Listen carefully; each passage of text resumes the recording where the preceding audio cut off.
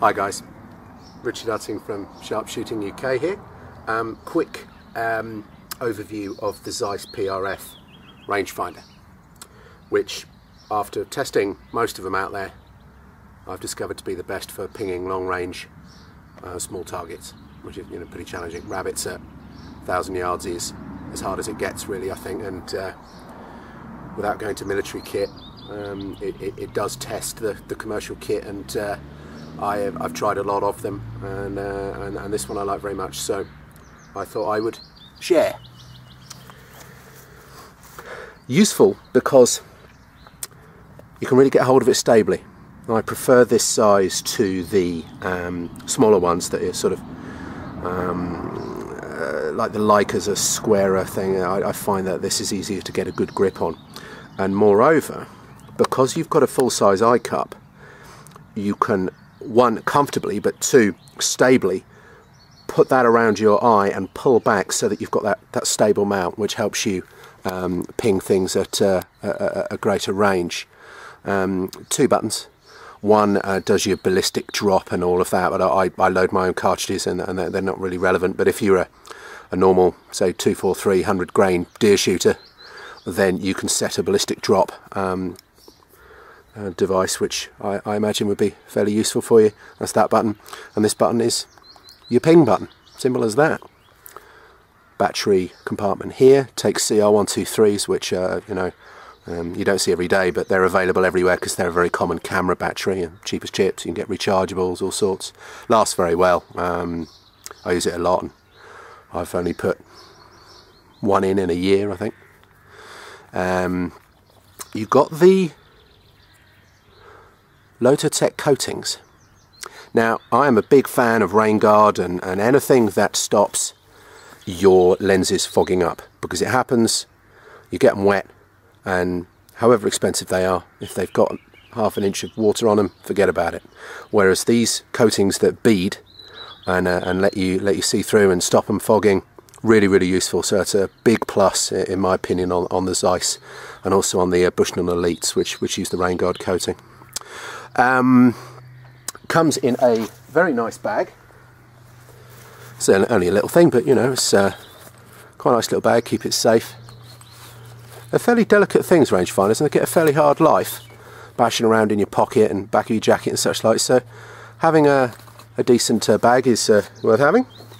Um, this isn't going to be top-notch video, but I'll give you an idea of the uh, aiming point, at the reticle, by putting it on the end of the video camera, so uh, just bear with me.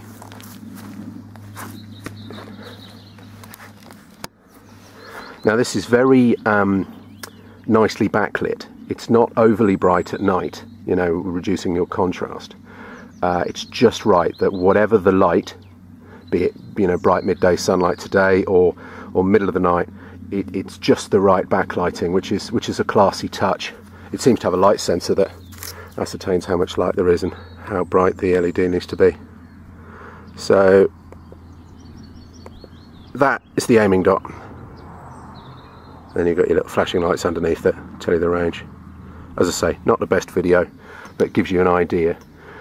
Um, the quality of the image is quality of the image is better than the Leicas and but that's saying something. It's really, really clear. It's as good as a, you know, three, four hundred pound pair of binoculars. It's uh, really very good.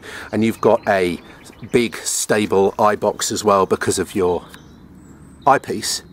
So all in all, a very useful um, piece of kit. Obviously you can ping, but you've also got a, a very usable um, binocular, or monocular should I say, that will uh, enable you to spot well, we, we, we use them to spot rabbits at three or four hundred yards, uh, which is what you'd expect from a half decent pair of binoculars. So, um, really very impressive. It's a 26 mil, which doesn't seem very big, but uh, does the job. The, the optics are crystal clear, um, so uh, that's useful because it doubles as a, a, rangefinder and a binocular, which saves you having to carry your, your binoculars uh, half the time. Um, so that's very useful if you compare it to the Leica, for example, The Leica will uh, ping long range, uh, no two ways about it. The, the 1200 scan uh, and certainly the new 1600 scan, you know, they will do the job. Um, and they have a lovely small aiming point, a tiny little box that's very, very precise. And, and, and they work, no doubt about it. They are, they are up there. What I like about the Zeiss in comparison is that you can find these for £500 new, which is a lot cheaper than the Leicas. And they've got the rain guard, much nicer eyepiece in my opinion. I think that is very useful. And um, the tiny little rubber small little things that you hold up to your eyes that you get on the Leicas and, and a lot of the others, the Nikon Monarchs and, and such like, are, uh, are a nightmare to, to, to look through uh, in the spotting sense. Sure, you can ping with them, but if if it's going to double as a, you know as, as a spotting device, then you need to be comfortable and you need a decent eyepiece. So that's that's a, a plus for me with these.